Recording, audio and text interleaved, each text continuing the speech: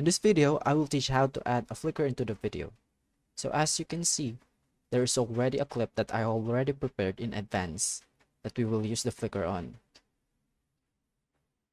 First, click the new button in the project panel and click the adjustment layer.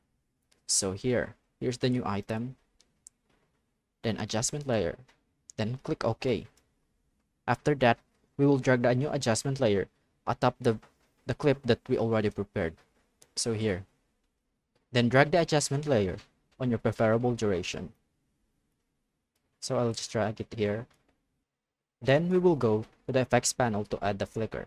So we will go to the effects tab.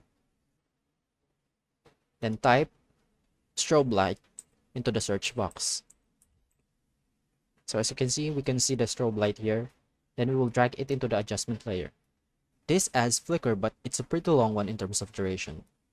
So we will go to the effects panel to adjust the duration of the flickers. Here we're going to go to the effects controls.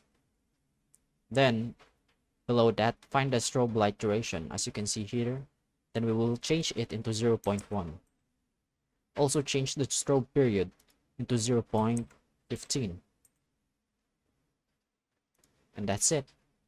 As you can see in the video, here's the flickers. Thanks for watching. I'll see you all in the next video.